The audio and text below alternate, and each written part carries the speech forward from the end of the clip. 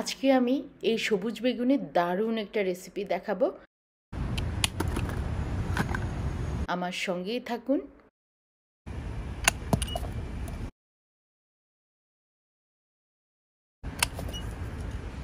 এভাবে বেগুন রান্না করলে কী যে মজা হয়। আমি এখানে কয়েক পিস ইলিশ মাছ নিয়েছি। মাথা দিয়ে রান্না করব আর কয়েকটা পিস আছে। হলুদ আর লবণ দিয়ে দিচ্ছি। এই যে লবণ পরিমাণ মতো লবণ দিচ্ছি। আমি এখন হাত দিয়ে হলুদ আর লবণ মিশিয়ে নিচ্ছি প্রত্যেকটা মাছের পিসের সাথে।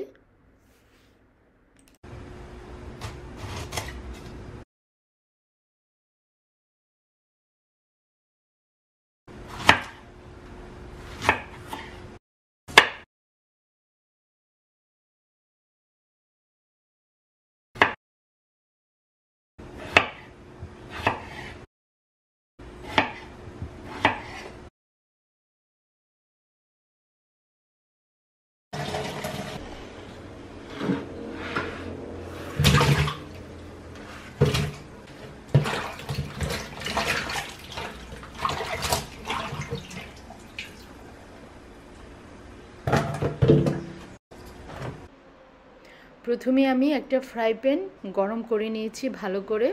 তারপরে এখানে একটু রান্নার তেল দিয়ে দিব। তেলটা একটু গরম হলে তারপরে মাছগুলো দিব। গরম না হলে কিন্তু মাছগুলো আটকে যাবে ফ্রাই প্যানে। তাই তেলটা একটু ভালো করে গরম করে নেবেন। এক সাইড হয়ে গেলে মাছগুলো উল্টিয়ে দিব। আর ইলিশ মাছ তো এই জন্য বেশি ভাজি করব না কম ভাজি করব। ছোট একটা পেঁয়াজ, হাফ চা চামচ রসুন এখন বেগুনগুলো দিয়ে দিচ্ছি। একটু নেড়ে চেড়ে নেব। হলুদ হাফ চা চামচ, লবণ স্বাদ মতো। আমি যখন বেগুন রান্না করি, আমি কিন্তু সব মশলা একসঙ্গে দেই না। যেমন লবণ আর হলুদ দিয়ে কিছুক্ষণ নাড়াচাড়া করি। তারপরে আমি ধনিয়া দিই। ধনিয়া এক চা চামচ, ধনিয়া পাউডার। কিছুক্ষণ নেড়ে আর বাজার থেকে যদি সবজিটা কিনে নিয়ে আসি, তাহলে একটু ঢেকে রাখি সিদ্ধ হওয়ার জন্য। কিন্তু পানি দেই না। আর আমি যেহেতু আমার নিজের গাছের, তাই তাড়াতাড়ি সিদ্ধ হয়ে যাবে, এই জন্য ঢেকে রাখতে হবে না।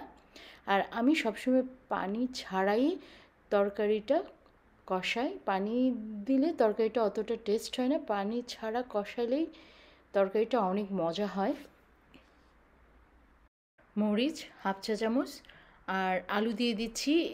এখানের আলুগুলো তাড়াতাড়ি সিদ্ধ হয়ে যায়, তাই একটু পরে দিয়েছি। মাছগুলো দিয়ে দিচ্ছি, তারপর পানি দিয়ে দিব। চুলার আঁচটা ফুল করে দিব। এখন ঢেকে রাখব পুরো না একটু ফাঁক রেখে দিব। আর যখনই এভাবে বাবল আসবে, তখনই চুলাটা মিডিয়াম করে দিব।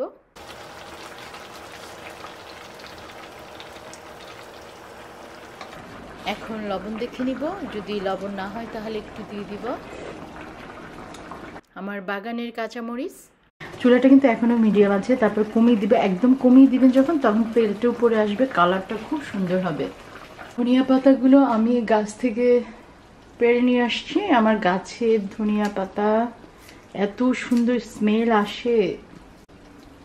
সব গাছের, শুধু মাছটা ছাড়া। এই রান্না যে কত মজার, একবার আমার মতো রান্না করে দেখুন। আল্লাহ আমাদের সবাইকে ভালো রাখুক সুস্থ রাখুক। দেখা হবে নেক্সট ভিডিওতে ইনশাল্লাহ